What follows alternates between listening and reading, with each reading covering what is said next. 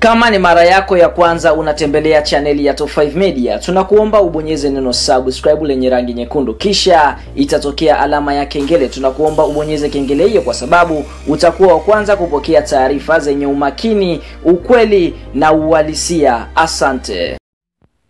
E bwana, moja kati ya habari kubwa ya kimichezo ambayo tunakusogezea mezani siku ya leo ni kuhusiana na tamko zito ambalo limeweza kutolewa siku ya leo muda huu na shirikisho linalosimamia mpira wa miguu nchini Tanzania TFF kuhusiana na kile ambacho siku ya leo kilikuwa kikisikilizwa na kamati ya sheria na hadhi za wachezaji ya shirikisho la mpira wa miguu Tanzania TFF kuhusiana na kesi ambayo ilikuwa ikikabili klabu ya soka ya Yanga Sports Club dhidi ya mwajiri wake wa zamani Faisal Salum almaarufu kwa jina la Feitoto, ambapo kamati hiyo ardhi siku ya leo ilikaa kusikiliza pingamizi ambalo liliweza kupingwa na mchezaji anaofahamika kwa jina la Faisal Salum kuweza kupinga maamuzi yaliyotolewa hapo awali kuhusiana na kamati hiyo kuweza kuamuru kwamba mchezaji huyo ni wa klabu ya soka ya Yanga Sports Club na si klabu nyingine, kwa sababu Faisal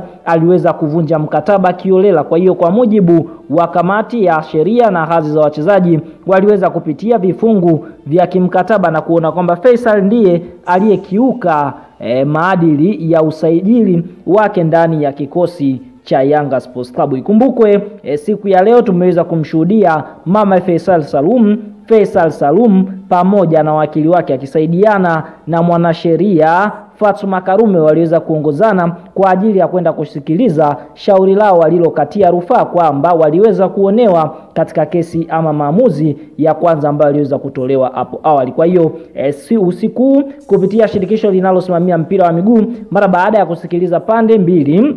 yaani pande ya Faisal Salum pamoja na pande ya Yanga Sports Club, basi wameweza kutoa maagizo mengine kuhusiana na kesi hii ya Faisal Salum, ambapo kupitia shirikisho hili la mpira wa miguu Tanzania limeweza kutoa taarifa kwa umma, ambapo taarifa hii inasema hivi: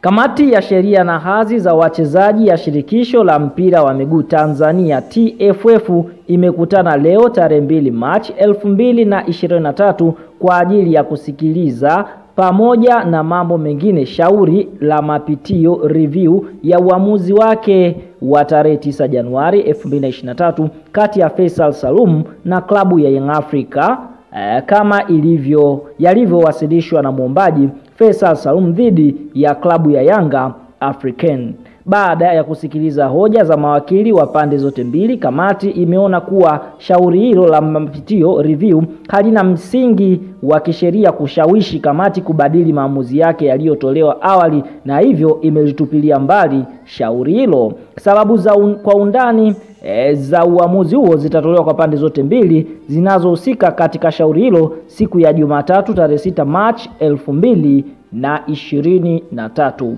Hiyo ni kamati ya sheria na hadhi za wachezaji ikitoa majibu rasmi kuhusiana na shauri ambalo lilikuwa likipitiwa, ambapo shauri hili ni Faisal Salum aliomba kesi yake iweze kufanyiwa mapitio ama kufanyiwa review kwa kile ambacho kiliweza kuhukumiwa hapo awali. Kwa hiyo kamati hii imeweza kuja na majibu kwamba bado wanabaki katika msimamo wao kwamba Faisal Salum ni mchezaji halali wa klabu ya soka ya Yanga na si timu nyingine, na wala Faisal hajavunja mkataba na Yanga Sports Club. Lakini kwa mujibu wa mama Faisali ni kwamba mchezaji wake huyu ama mwanaye huyu alikuwa akipitia maisha magumu ndani ya kikosi cha Yanga Sports Club, ilipelekea mpaka baadhi ya kisiku alikuwa akila ugali kwa sukari, na kuna kipindi alikuwa akiomba fedha za matumizi atumiwe kutoka nyumbani ili aweze kujikimu akiwa ndani ya klabu ya soka Yanga, na ameweza kwenda mbali zaidi na kudai kwamba ule mshahara uliokuwa ukitajwa kwamba Faisal analipwa milioni nne ni uongo na kwamba Faisal alikuwa akilipwa milioni mbili. Ndiyo maana imeweza kumfanya Faisal Salum kuweza kubadili maamuzi ya kubakia Yanga na kutamani kuondoka. Kwa hiyo mama Faisal anasema mwanaye hata iweje hawezi kurudi tena Yanga, lakini ndio hivyo TFF wameweza kutoa majibu yao, lakini kwa mujibu wa Faisal wenyewe ngoma hii mpaka CAS mahakama usuluhishi ya kimichezo inaweza kwenda kunguruma kwa sababu yeye anaona ana haki. E bwana, nenda eneo la comments ka comments kwa hiki ambacho TFF wameweza kukitoa majibu haya. Nini maoni, nini mtazamo? Nenda eneo la comments ka comment. Asante, bye bye.